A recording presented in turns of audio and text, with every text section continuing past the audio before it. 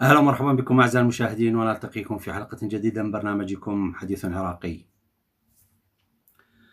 رئيس الوزراء الحالي محمد الشياع السوداني تحدث عن جوانب من واقع الحياة ومن المهمات التي آه، يقول إنه حكومته مكلفة بإيجاد حلول لها. يقول يحتاج العراق إلى ثمانية آلاف مدرسة قد يستغرق بناءها بناؤها سنوات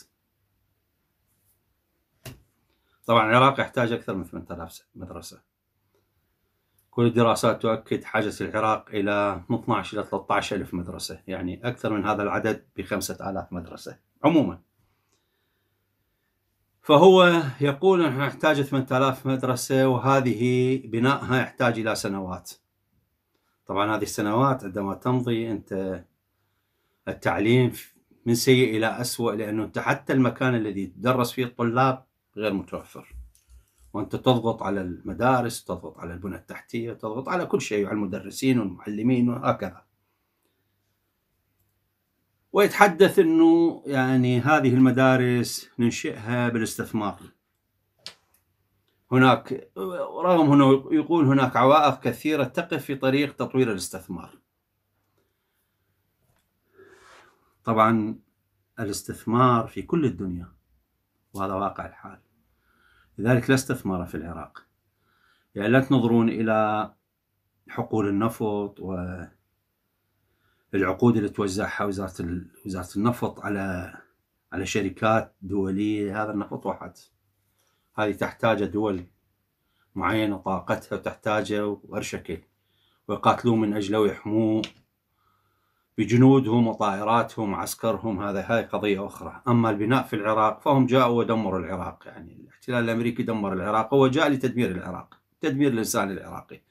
فبالتالي العراق بلا بنى تحتية. فأنت إذا تحتاج إلى مستثمرين الاستثمار أي قانون استثمار أي إطار استثماري يحتاج أولا إلى بيئة آمنة. هذا هذا المنطق الأساسي. المال مثل ما يقولون المال جبان. رأس المال جبان. يحتاج إلى تحويط وأمان عالي جدا جدا لكي يقف في مكانه ويستثمر صاحب رأس المال لا لا يضحي بماله في على أرض مهتزة وبيئة غير طبيعية. وبيئة العراق كلها غير طبيعية وكلها مهتزة وتحكم الميليشيات. فأنت أول شرط من شروط الاستثمار غير متوفرة ولا يمكن أن تتوفر. لأن العراق محكوم بأحزاب وميليشيات وعصابات. فلا يمكن للاستثمار أن يكون آمنا لأنه في بيئة إضافة إلى إلى إلى إلى عدم وجود الأمان فيها فساد عالي. ففيها عصابات تبتز فيها فاسدة رشاوى يريدون آه، حمايات يفرضون عليك. يشاركونك في أرباحك وفي رأس مالك. هذه كارثة كبيرة وحثت. لذلك رأس المال في العراق الاستثمار في العراق غير ناجح نهائيا ولا أحد يستثمر. مشاريع كثيرة لكن لا أحد يستثمر. فهذه واحدة من المشاكل البنيوية في أصل النظام هذا اللي قائم من عام 2003 لحد الآن. هو لا يعطي الأمان لأحد ولا يستطيع أن يوفر الأمان. يعني لا الدولة تقدر تستطيع توفر الأمان. هناك شركات حتى نفطية عشائر وعصابات وميليشيات هاجمتها انهزموا ما قدروا يصمدون تهديدات دولية ودخلنا بغير قضية وتوسلات ودفع أتاوات يلا رجعوا إلى مكانهم. فكيف مع استثمارات في بناء ومدارس وما أعرف شنو؟ لا يمكن هذه القضية.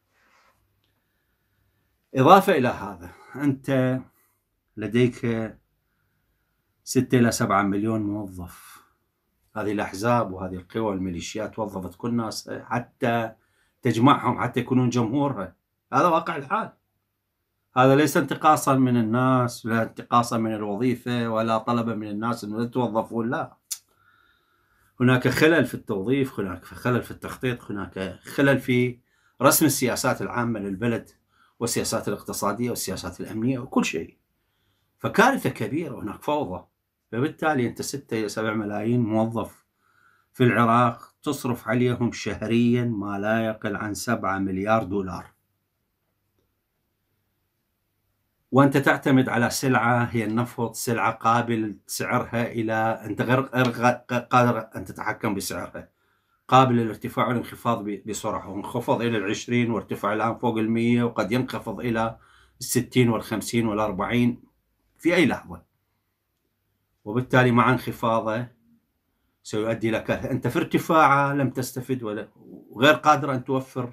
الآن مع تخفيض سعر الدولار مقابل الدينار الموازنة الآن كارثة بها بها عجز أكثر من 70 75% أنت تضطر إلى الاقتراض من الداخل والخارج. والقروض هذه ستزيد ستزداد على العراق. والعراق يعني مطلوب رغم كل هذه الثروات مطلوب مليارات عشرات المليارات والكثير من التقارير تتحدث أن المبلغ المطلوب بالعراق يعني يقترب من 200 مليار دولار. وهذه كارثة. محمد الشاع السوداني رئيس الوزراء الحالي يقول يجب دعم المستثمرين لتقليل الاجراءات البيروقراطية لدفع العملية الاستثمارية. يعني هي المشكلة الاجراءات البيروقراطية. ليست هذه المشكلة. المشكلة توفير الأمن القضاء على الفساد القضاء على على الرشوة تفهم عملية تفهم آه لماذا نستثمر وكيف نستثمر ومن أجل ماذا؟ تخطيط مضبوط للاستثمار. هذه يعني كارثة. فاحنا في بالموازنة هناك نفقات يسموها نفقات تسيير الأمور يعني نفقات يعني جانب النفقات العادية اللي هي النفقات التي تدفعها الحكومة من أجل استمرار عمل مختلف الأجهزة المؤسسات رواتب معروف منه خدمات صيانة ما أدري شنو شراء سيارات مع هذه وجانب استثماري. شوف التخصيصات بين هذه الجانبين إيش قد إيش قد بالنسبة للاستثماري؟ لا يوجد شيء. لأنه أنت بال يعني بالجانب بالجانب جانب التسيير النفقات التسيير. بالنفقات أنت تحتاج إلى مبالغ أنت عندك عجز. لا تستطيع أن توفره. يعني أنت أنت سنويا واردات واردات العراق كلها لا تتجاوز 100 إلى 120 مليار دولار ماشي. مع إنه يصدرون 4 ملايين وأكثر من 4 ملايين برميل باليوم وش قد سعر البرميل وكذا تجيهم هم يقولون وزارة النفط تقول. وإحنا كل فلوسنا تجينا من النفط ما عندنا غير. يعني البعض يقول لك 5% 3% كذبة. ليس لدينا إلا النفط. فبالتالي أنت تدفع بحدود ال 80 مليار دولار فقط رواتب سنويا ما الذي بقي؟ أنت يجب من هذا المبلغ الباقي ال 40 مليار أو 30 مليار تدفع ديون. ديون واجبة الدفع يجب أن تدفعها للشركات تطلع لك نفط وكذا هاي واجبة. وديون أكو واجبة الدفع خدمات الديون يجب أن تدفعها. وتنطي للميليشيات وتنطي للحكومة وتنطي يعني وين وين تخليها ذني؟ فبالتالي أنت عندك عجز كبير يجب أن نسده بالإقتراض والإقتراض الداخلي والخارجي مصيبة كبيرة. ف هي أهداف كل موازنة في الدنيا كلها. هي يعني النمو الاقتصادي تحقق نمو. موازنة تحقق نمو ترفع إجمالي الناتج المحلي يرتفع. وهذا يتخ... يعني موازنة المصالح العامة رفع مستوى المعيشة للمواطنين. هذا كله جزء من الموازنة. جزء من أهداف الموازنة. قضاء على الفقر قضاء على الأمية البطالة آه، توفير الحاجات الأساسية للمواطنين من سكن ورعاية صحية وطعام للمواطنين وخدمات وطرق. وهذا كله وإعادة توزيع الدخل من أجل تحقيق المساواة تمويل المؤسسات العامة وتحسينها وتطويرها وإدارتها وتقديم خدمات للمواطنين البلد هذا كله جزء من الموازنة. يحسب. وإحنا ما عندنا كل هذه الرؤية ما عندنا كل هذه الأهداف. فكيف نبني 8000 مدرسة؟ ستبقى مثل وسيزيد العدد. هو هو العدد من البداية هذا غير العدد الحقيقي. وتحدثنا والدراسات كثيرة تتحدث عن 12 إلى 13 ألف مدرسة نحتاج.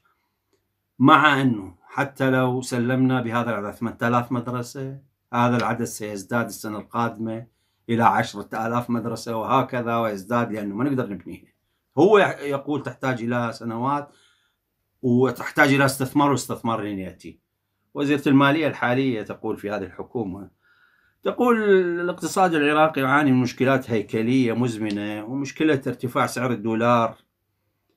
آه، تمت إدارتها حكوميا وشعبيا. شعبيا شنو؟ الشعب هو تحمل المصيبة يتحملها بالارتفاع والانخفاض ومصيبته مصيبة.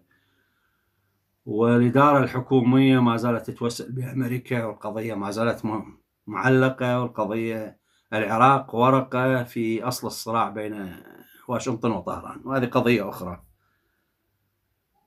وتقول نحن هنا بصدد إنهاء العمل بالموازنة الاتحادية لعام 2023 وحتى لو انهي يعني حضرت هذه الموازنة وماذا يعني؟ سيتكرر نفس الحال. الفقر سيزداد البطالة ستزداد الأمية ستزداد الخدمات ستنعدم. وبالتالي نحن أمام كارثة كبيرة والتعليم سيزداد سوءا وعدد المدارس التي نحتاجها تزداد. من 8000 مثل ما يتحدث رئيس الوزراء الحالي إلى 10000 و 12000 وهي عددها الآن أكثر من 12 إلى 13000 مدرسة. وهكذا سنجد نفسنا لأنه هذه المدارس حتى اللي موجودة الآن هذه ستح يعني تعرض إلى إلى الاندثار يعني. وبالتالي تحتاج إلى إدامة تحتاج إلى صيانة تحتاج إلى مدارس جديدة وهكذا تضاف أعداد والأعداد الطلبة سيزدادون. النمو السكاني في العراق هائل سيزدادون. وبالتالي وأنت تقول أنه نريد نبني بلد جديد يجب أن نشجع على التعليم. مو على الأمية مو عندنا 7 ملايين 8 ملايين أمي. فبالتالي نحتاج إلى مدارس أكبر وأكثر. وهذه هي الكارثة. هذا وضع العراق الاقتصادي والاستثماري والتعليمي. مع الأسف الشديد ووقت هذه الحلقة قد انتهى. أعزائي المشاهدين نلتقيكم في حلقة أخرى. إلى ذلك الحين أستودعكم الله والسلام عليكم.